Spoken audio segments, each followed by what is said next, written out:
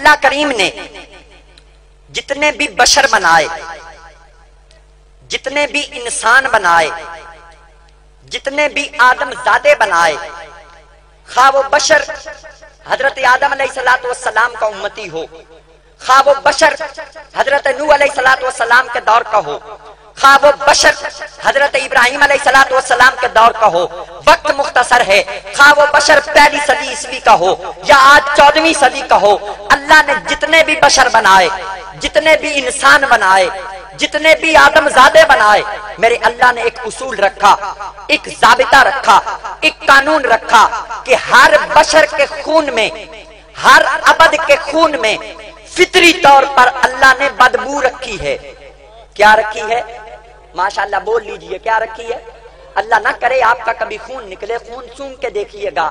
आपके खून में, मेरे खून में हम जितने बैठे हैं, अल्लाह का एक उसूल है, एक जाबता, एक कानून है कि अल्लाह ने हर बशर के खून में बदबू रखी है। लेकिन जब बारी आई ना कैनात की आका की, जब बारी आई ना बशरीयत के ताजदार की, जब बारी आई ना सैयदा जारा पाक के पाक बाबा जान की तो उसूल टूट गए, जाबिते टूट गए, कानून टूट गए, या मालिक अब क्या है? फरमाया, आदम से लेकर क्यामत तक। हर बशर के खून में मैं अल्लाह ने बदबू रखी है। जारा पाक के बाबा के खून में अल्लाह ने बेमिसल खुशबू रखी है। अल्लाह ने क्या रखा है बेमिसल? माशाल्लाह आपका जेन तैयार हो गया। दलील सुने, कच्ची बात करने का आदि नहीं तो दलील सुने। शिफा शरीफ है। मवाहिबुल दुनिया शरीफ है मदारिजुल नबुआ शरीफ है। और और ज़्यादा दूर नहीं जाना तो सीरत जाओ नबी शरीफ है। और भी दीगर कुतबे ताकीक में यह बात मौजूद है कि हजूर सलाम ने हम गुनागारों को इलाज का तरीका समझाने के लिए पछने लगवाए। क्या लगवाए? सरकार का मुबारक खून निकला, एक बर्तन में डाला गया। खून मुबारक जब बर्तन में डाला गया, सरकार महफिल सजी है। वैसे महफिल तो ये भी सजी है लेकिन उस महफिल का अंदाज क्या होगा कि खिदमत में थे जब उनकी? अबू बकरो उमर उस्मानो अली उस वक्त रसूल अकरम के दरबार का आलम क्या होगा? सरकार की लरैबो बयान महफिल सजी है। साहबा बैठे हैं सरकार मिंबर पे जलवागर हैं। सरकार की निगाह इंतखाब उठी और जानते हैं उस निगाह में क्या कैफ है? आला बरेलवी फरमाते हैं जिस तरफ़ उठ गई दम में दम आ गया। उस निगाह इनायत में लाखों सलाम।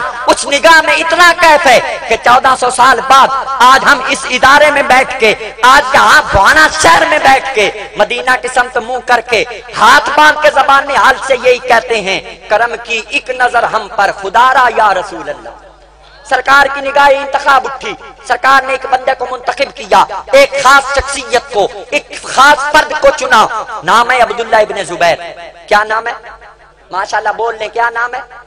मैं ज़्यादा तो इनका यहाँ तारुफ करवाने का वक्त नहीं पाता, लेकिन इतना तारुफ ज़रूर करवा देता हूँ कि जब हम पाक हुसैन का ननिहाल देखते हैं ना, इमाम अली मकाम का, इमाम हुसैन का जब हम ननिहाल देखते हैं तो हुसैन का नाना हमें नबियों का सरदार नज़र आता है। हुसैन का नाना कौन है नबियों का? सरदार नज़र आता है। अब्दुल्ला इब्ने जुबैर इस शख्सियत का हामिल है। अल्लाह ने ये और अब्दुल्ला इब्ने जुबैर को दिया है कि जब हम पाक हुसैन का ननिहाल देखते हैं तो पाक हुसैन का नाना नबियों का सरदार नज़र आता है।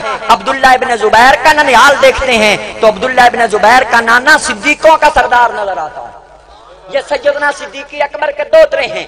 और किबला बिस्मल साहब, हमारे पंजाबी में कहावत बहुत मशहूर है कि घोड़िया मुनसफा, राग नाने हारी घोड़े में और मुनसफ में नाने की सोबत का असर होता है। नाने का असर होता है क्योंकि ननिहाल का जो असर है, वो फितरी है। याद रखिएगा, हुसैन भी बड़ा मुनसफ था। आपको तब तक करबला की समझ नहीं आ सकती जब आप जब तक आपकी निगाहें हुसैन के नाना पे न टिकी हो क्योंकि करबला में हुसैन हुसैन बन कर नहीं गया था।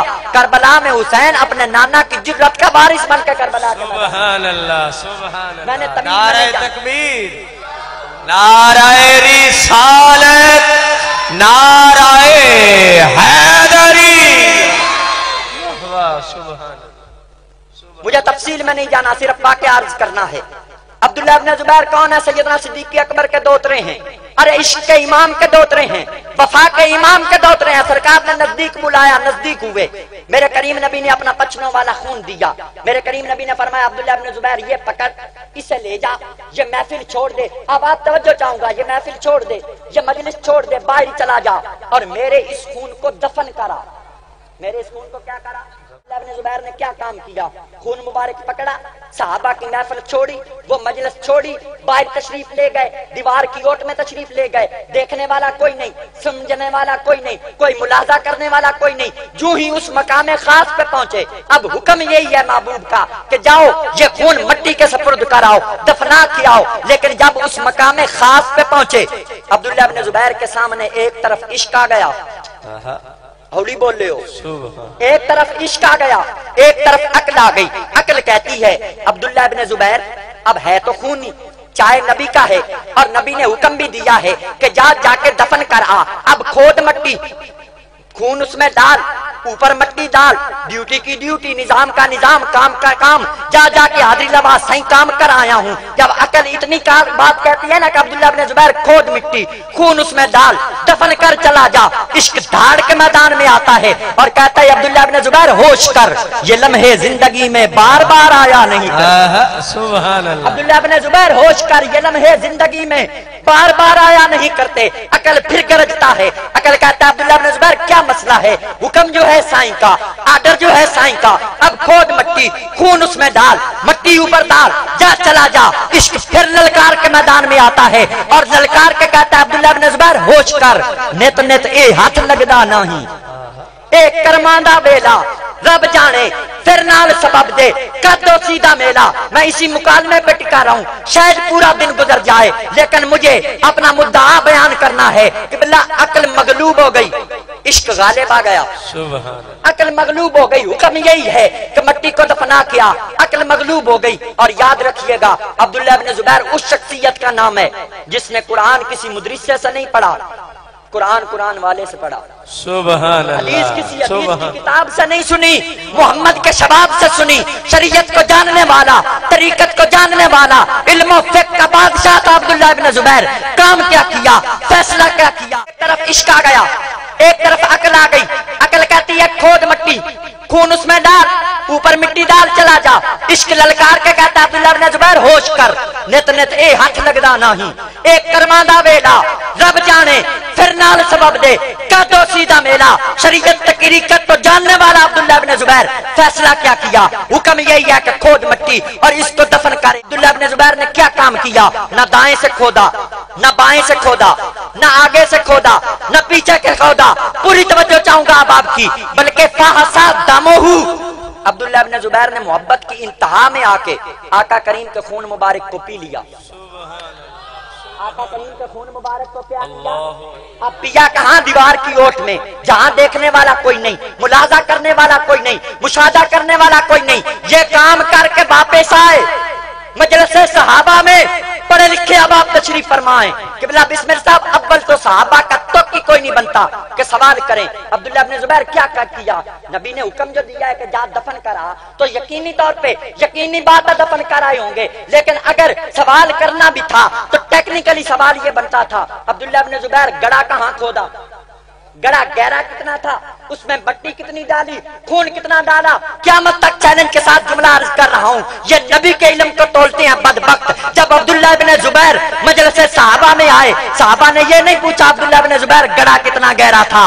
साहबा ने ये नहीं पूछा अब्दुल्ला बिन जुबैर उसमें मिट्टी कितनी डाली। जब अब्दुल्ला बिन जुबैर ये काम करके मजलस साहबा में आए, सारे साहबा यक जबान होकर पूछते हैं कैफा बजत्ता तामुद्दम अब्दुल्ला बिन जुबैर बता आका करीम के खून मुबारक का जायका कैसा था? सुबह अल्लाह सुबह अल्लाह आका के खून मुबारक का जायका? किबला आपने बात नहीं समझी? उन्होंने पिया कहा दीवार की ओट में। जहाँ देखने वाला कोई नहीं मुशादा करने वाला कोई नहीं मुलाजा करने वाला कोई नहीं मजलिस सहाबा में आए।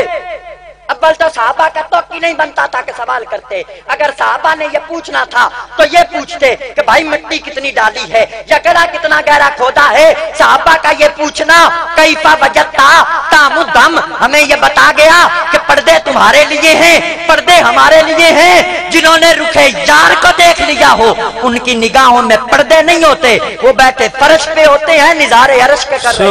अल्लाह नाराय तकबीर नाराय रिसालत नाराय हैदरी, नाराय तहकीक। सुबहान किबला साहबा ने क्या पूछा? कई पवजत्ता तामुदम अब्दुल्ला बिन जुबैर बताओ, आका करीम के खून मुबारक का जायका कैसा था? अब्दुल्ला बिन जुबैर ने जब साहबा की यह बात सुनी, मुस्कुरा पड़े और मुस्कुरा के फरमाने लगे, भाइयों, ये बात तो थी मोहब्बत की और मोहब्बत का एक अपना उसूल है, एक अपना जाबिता है, एक अपना कानून है कि मोहब्बत जितनी छुपाई जाए, उतनी हसीन होती है। मोहब्बत का एक असूल है। मोहब्बत कितनी छुपाई जाए, उतनी हसीन होती है। अब्दुल्ला जुबैर फरमाते हैं, साहबा, ये तो मोहब्बत का असूल हो गया। लेकिन आपने मोहब्बत की वजह से ही पूछ लिया है। तो सुनो, आज इस स्कूल में, इस इदारे में बुआना और दिलदो गिरदो नवा से आने वालों, अब्दुल्ला जुबैर का जुमला दिल की तख्ती के लिख के ले जाना। अब्दुल्ला बिन जुबैर, क्या जवाब इरशाद फरमाते हैं? साहबा से पूछा, साहबा, क्या पूछते हो? हाथ मांग के साहबा अर्ज़ करते हैं, साई, हम ये पूछते हैं कि हमें बताइए, आका करीम के खून मुबारक का जायका कैसा था? तो सुन अब्दुल्ला बिन जुबैर का जवाब। अब्दुल्ला बिन जुबैर के चेहरे पे जमाल की कमाल कैफियत आई और आँख भर के साहबा को देखा और फरमाया, साहबा सुनो असल, अम्मल रायहा मस्क। आप फरमाने साहबा, जब मैंने चखा, जब मैंने जब मैंने आका करीम के खून मुबारक को चखा तो वो शहद से ज़्यादा मीठा था। जब मैंने सूंघा तो वो कस्तूरी से ज़्यादा खुशबूदार था। कस्तूरी से ज़्यादा, माशाल्लाह बोल लीजिए, कस्तूरी से ज़्यादा, पता क्या चला? तेरे मेरे खून में बदबू रखी है। आका करीम के खून मुबारक ने अल्लाह ने बेमिसल खुशबू रखी। अल्लाह ने क्या रखा है? और सिर्फ़ खुशबू ना कहना, मैं थोड़ा सा आपके जहनों को आगे लेके चलूँ। सिर्फ़ खुशबू ना कहना, कल कोई इत्र वाला ये भी कह सकता है, मेरे इत्र में भी खुशबू, मोहम्मद के खून में भी खुशबू। आप कहेंगे शाहजी जुमला कैसे कहो? मैंने कहा, जुमला यूँ कहो, तेरे मेरे खून में बदबू रखी है। आका करीम के खून मुबारक में अल्लाह ने बेमिसल खुशबू रखी है। कोई कहे, ये कादरियत का जुमला है, या ये चिश्तियत या रिजवियत का जुमला है। किबला जी, हमारी अकीदत का जुमला नहीं है, हदीस की हकीकत का जुमला है। कैसे आए, मैं डिफाइन करता हूँ, कैसे? आप महँगी से महँगी खुशबू लगाएँ, महँगे से महँगा इतर लगाएँ, कितना देर उसकी खुशबू आती है? सुबह लगाओ, शाम तक आती है। आप दस हज़ार वाला स्प्रे ले लें, एक दिन लगाएँ, दो दिन उसकी खुशबू आती रहेगी। आप ज़्यादा महँगे से महँगा इतर ले लें, अच्छी क्वालिटी का ले लें। तीन दिन आपके कपड़ों से, आपके जिस्म से खुशबू आती रहती है। लेकिन अगर एक बात याद रखें, आप जितना महँगा खुशबू ले लें तीन दिन से आगे खुशबू जा नहीं सकती। खुशबू का कोई जवाब नहीं, कोई कॉन्सेप्ट नहीं, कोई बात नहीं, अकल तस्लीम नहीं करती। आओ मैं बताऊँ, मैंने क्यों कहा बड़ी मजलस में कि मेरे करीम नबी का खून मुबारक खून मुबारक खून मुबारक सिर्फ़ खुशबूदार नहीं, बल्कि बेमिसल खुशबू है। आओ मैं दलील पेश करूँ। अलामा जलालुद्दीन सयूती अलारामा लिखते हैं। आप फरमाते हैं, लोगों, याद रखो, मेरे करीम नबी के खुशबू की, खून मुबारक की खुशबू कितनी थी? आप फरमाते हैं, लम्मा शारेबा अब्दुल्ला इब्न जुबैर दमहू, तदब्बा फमहू मिस्कन व बाकियत रायतहू मौजूदतन फ़ी फमही लान सोलेबा अलामा जलालुद्दीन सयूती जैसा मुहक्किक फरमाता है आप फरमाते हैं लोगों याद रखो जब अब्दुल्ला इब्न जुबैर ने मेरे करीम नबी का खून मुबारक पिया तो ये सरकार के जाहिरी हयाती तैयबा के दिन थे ना ये सरकार के यानी उस हयाती के दिन जब सरकार के चेहरे को सिद्दीक भी देख लेते थे अबू जाल जैसा जिंदीक भी देख लेता था मेरे महबूब की आयाती अब भी बेमिसाल है अब भी बेमिसाल है। लेकिन अब फ़र्क इतना ज़रूर है कि अब वो चेहरा अब वो पाकिजा चेहरा अब वो पाक चेहरा सिद्दीकी अकबर के नौकरों को तो नज़र आता है अबू जेल के चेलों को नज़र नहीं आता। अच्छा क्या हुआ? अब्दुल्ला जुबैर ने सरकार का खून मुबारक पिया। जो ही खून अब्दुल्ला बिन जुबैर के मुँह में गया तो वो खुशबू जो खून से आ रही थी अब्दुल्ला बिन जुबैर से मुँह के मुँह से आना शुरू अल्लाह और फिर एक दिन नहीं दो दिन नहीं तीन दिन नहीं सरकार पर्दा फरमा गए। तो जो कलेजा करो मैं जुमला जिम्मेवारी से रवायत अर्ज़ कर रहा हूँ। एक दिन नहीं दो दिन नहीं तीन दिन नहीं सरकार पर्दा फरमा गए। खुशबू फिर भी आती रही। जनाब सैदना सिद्दीकी अकबर का दौरे हुकूमत आया। खुशबू फिर भी आती रही। जनाब अमीर उमर के साढ़े बारह साल गुजरे, खुशबू फिर भी आती रही। जनाब उस्मान पाक का दौरे नूरी आया, खुशबू फिर भी आती रही। अब कले जाकर मैं जुमला तेरे डिलीवर करूँ, तेरे सपुर्द करूँ, तेरे जैन की खूबसूरत वादियों के सपुर्द करूँ। अब्दुल्ला बिन जुबैर ने सरकार का खून मुबारक पिया, खुशबू आने लगी। सरकार पर्दा फरमा गया, खुशबू फिर भी आती रही। जनाब सैदना सिद्दीकी अकबर का दौरे हुकूमत आया, खुशबू फिर भी आती रही। जनाब अमीर उमर के साढ़े बारह साल गुजरे, खुशबू फिर भी आती रही। मौला उस्मान पाक का दौरे नूरी आया, खुशबू फिर भी आती रही। मेरे पीर अली का दौरे हुकूमत आया, खुशबू फिर भी आती रही। मौला इमाम हसन का दौरे खिलाफत गुजरा, खुशबू फिर भी आती रही। अब कर कले जा जुमला तेरे सपुर्द करूँ। इकसठ हिजरी, मक्का के जामिया बाज़ार में अब्दुल्ला बिन जुबैर को तख्ता दार पे लटका दिया गया। आका करीम के खून की खुशबू अब्दुल्ला बिन जुबैर के मुँह से फिर भी आती रही। अल्लाह। अल्लाह पता क्या चला? तेरे मेरे खून में बदबू रखी है।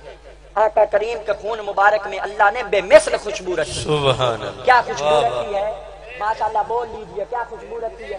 अच्छा एक चीज़ और सुने और यहीं से सलामी सैयदा दारा पाक को। एक जुमला और सुने खून मुबारक पर क्योंकि मैं इब्तदा से बात को लेके आ रहा हूँ। पहली खूबी क्या है? तेरे मेरे खून में बदबू। आका करीम के खून में बेमिसल है। माशाल्लाह सारे बोले बेमिसल है। माशाल्लाह बेमिसल है। दूसरा दूसरा फ़र्क सुने। आपका खून पीने वाला, मेरा खून पीने वाला किबला जितने लोग अब आप बैठे हैं, ज़फ़र साहब का खून पीने वाला, बिस्मिल साहब का खून पीने वाला, जिस इंसान का खून पीने वाला, वैशी कहलाता है। क्या कहलाता है? किसी इलाके में हो, किसी खित्ते में हो, किसी कौम से उसका ताल्लुक हो, किसी कबीले से उसका ताल्लुक हो, किसी मुल्क में हो, इंसान का खून पीने वाला वैशी कहलाता है। अब कलेजा कर मैं जुमला तेरे सपर्द करूँ। मैंने क्यों कहा हुजूर का खून बेमिसाल है? हुजूर को अल्लाह ने बेमिसलियत अता फरमाई है। इंसान का खून पीने वाला वैशी कहलाता है। नबियों के सुल्तान का खून तबर्रुक के तौर पे पीने वाला फर्शों पे भी जन्नती कहलाता है अरशों पे भी जन्नती। सुबहान अल्लाह सुबहान कैसे साहबा ने शिकायत लगा दी। साहबा ने शिकायत लगा दी सही अब्दुल्ला बिन जुबैर ने खून मुबारक दफन नहीं किया। पी गए। मैं एक सवाल करूँगा। खून पीना कुरान की किस आयत का हुक्म है? हदीस के किस जुमले का हुक्म है? कतन नहीं। उन्होंने खून हदीस की वजह से नहीं पिया। उन्होंने खून इश्क मुस्तफ़ा की वजह से पिया। उन पर इश्क का रंग गालिब था। खून पी लिया। अब मेरे महबूब के पास साहबा ने शिकायत कर दी। अब चाहिए तो ये था कि सरकार नाराज़ होते। सरकार फरमाते, अब्दुल्ला बिन जुबैर, ये तूने क्या काम किया? खून पीना और फिर नबी का खून। ये तूने क्या काम कर दिया? नहीं नहीं, क्यामत तक जो मुल्ला कहता है, नबी का कोई इख्तियार नहीं। नबी माज अल्लाह ताकिया बन के आया है। और मेरे नबी नाराज़ नहीं हुए। हदीस की रोशनी में कोई फतवा नहीं लगाया। कुरान की रोशनी में कोई फतवा नहीं लगाया। हद कर गए कर्म की। साहबा ने फरमाया हुजूर अब्दुल्ला इब्न जुबैर ने खून मुबारक दफन नहीं किया बल्कि पी गए हैं। मेरे करीम नबी के जेर लब तबस्सुम आए। फरमाया साहबा जाके उसे मुबारक दे दो। उसने मुझ मोहम्मद का खून पी के अपने जिस्म पर दो की आग को हराम कर लिया। अपने जिस्म पर क्या कर लिया है? दो की आग को ये मैंने एक रवायत पेश की मेरे पास वक्त थोड़ा है। अलामा जलालुद्दीन सयूती अलामा ने छत्तीस रवायतें नकल की हैं। आप फरमाते हैं, जिसने भी पिया मेरे महबूब सलाम ने उसे जन्नत की बिशारत अता फरमाई। सरकार ने फरमाया जातू जन्नती हो गया है जातू जन्नती हो गया है जातू जन्नती हो गया है। अब यहाँ सवाल पैदा होता है साहब सवाल बड़ा कमाल का पैदा होता है कि क्या वजह है हुजूर का जिसने भी खून पिया हुजूर ने उसे जन्नत की बिशारत अता की। जब ये मसला ये सवाल अलामा जुर्कानी अलारामा के पास पहुँचा तो अलामा जुर्कानी जुरकानी अलारामा ने कलम तोड़ दिए। आप फरमाते हैं इसमें एक वजह है। क्या? इजाम माजू तमहू आप फरमाते हैं इसमें एक बुनियादी वजह ये है कि अल्लाह ने अपने महबूब से ये वादा किया है। महबूब तेरे खून के नज़दीक दो दक की आग को नहीं आने दूँगा। अल्लाह। तेरे खून के नज़दीक दो दक की आग को नहीं आने दूँगा। अलामा जुरकानी जैसा मुहक्किक लिखता है आप फरमाते हैं जब कोई बंदा हुजूर का खून मुबारक पी लेता है उसके जिस्म में खा उसने एक कतरा पिया हो जब उसके जिस्म में सरकार का खून चला जाता है चाहे एक कतरा चला गया हो अल्लाह उस एक कतरे को बचाने के लिए पूरे जिस्म को जन्नत अता फरमा देता है। अब किबला पता क्या चला? अब जो मैं रिज़ल्ट देना चाहता हूँ, यही मेरी तकरीर की बुनियाद भी है, मेरे बयान का उरूज भी है, और हर चीज़ इसी जुमले में है। किबला, हमने एक हदीस सुनी कि सरकार द्वारा सलाम का खून अब्दुल्ला जुबैर ने पिया। सरकार ने उसे जन्नत की बिशारत अता फरमाई। सरकार ने क्या अता फरमाई? जन्नत की बिशारत। जनाब अब्दुल्ला बिन जुबैर ने जब खून मुबारक पिया, सरकार ने फरमाया, जा तू दो जख्ती ऐसी आज़ाद है। उधर मालिक इब्न सनान ने पिया, गजबा ओद के मौका पे। सरकार ने सभा को इकट्ठा किया। सरकार ने फरमाया, मन अरादा अयन जोरा, इला रजुल मिन अहलिल जन्ना, फलयंजुर इला मालिक इब्न सनान। सरकार ने फरमाया, सहाबा, किसी ने चलता फिरता जनती देखना है। सारे साहबा मतन गोश हो गए। सरकार जंग का मौका है। आपकी रहनुमाई में आए हैं। आपकी रहबरी में आए हैं। जो तुम्हारी रहनुमाई में, जो तुम्हारी रहबरी में सर कदम करवाएँगे, वो सीधे जन्नत में जाएँगे। मेरे करीम नबी ने फरमाया, नहीं नहीं, सर कटाए बिना कोई बंदा जन्नत का हकदार बन गया है। मेरे करीम नबी से साहबा पूछते हैं, हुजूर, वो बंदा कौन है जो सर कटाए बगैर जन्नत का हकदार बन गया है? मेरे करीम नबी ने फरमाया, साहबा, मन अरादा जोरा, इला रजुलिम मिन फल यंजुर इला मालिक इब्न सनान। फरमाया, साहबा, मालिक इब्न सनान को देखो, ये शहादत का ताज पहनकर जन्नत का हकदार नहीं बना। मुझ मोहम्मद का चंद कतरे खून पी के जन्नत का हकदार बन गया। कबला पता चाक चला, हुजूर का खून पीने वाला का उसके जिसम में चंद कतरे खून चला जाए। वो इतना ऊँचा हो जाता है कि वो जन्नत का हकदार बनता है। वो जन्नत का क्या बनता है? माशाल्लाह बोल लीजिए, उम्मत मुसलमान मुत्तफिक हो गई है कि जिसके जिसम में सरकार का चंद कतरे खून चला जाए, वो जन्नत का, माशाल्लाह बोल लीजिए, जन्नत का जन्नत का, हमने दो हदीसें सुनी, जिसने सरकार का थोड़ा सा खून पिया, वो जन्नत का सरदार बनता है। अब सोचो, जिसके जिस्म में सरकार का चंद कतरे खून चला जाए, वो तो जन्नत का हकदार बनता है। उससे सैयदा सारा की शान क्या होगी, जिसके सर से लेके पाँव तक सारा खून ही मोहम्मद मुस्तफ़ा का दौड़ा अब अगर बगैरत मुन्ना उसके लिए भी हकदार का लफ्ज इस्तेमाल करे तो मत मारी गई है। वो अपने अकल के नाखून ले, अपने दिमाग का इलाज करवाए। एक कतरे वाला भी हकदार और सारे खूने रसूल का अमीन भी हकदार। आप कहेंगे, इंसाफ करो। कि बोला मैं मुनसिफ कौन होता हूँ? कैनात में सबसे बड़ा मुनसिफ आमना का लाल बन के आया। चौदह सौ साल पहले मेरा करीम नबी इंसाफ करके गया है। मेरे करीम नबी ने साहबा को इकट्ठा किया, इकट्ठा करके मेरे महबूब ने फरमाया फरमाया, साहबा, सुन लो, जिसके जिस्म में मुझ मोहम्मद का चंद कतरे खून चला जाए, वो जन्नत का हकदार बनता है और जिसका सारा खून मोहम्मद अरबी का खून हो अल फातिमा तो सैदा तो निशाए जन्ना फरमाया, जिसका सारा खून मोहम्मद का खून हो, वो जन्नत का हकदार नहीं बनता, बल्कि वो जन्नत का सरदार बनता है। वो जन्नत का क्या बनता है? और आप सबको बनता है। हकदारी और होती है। और सरदारी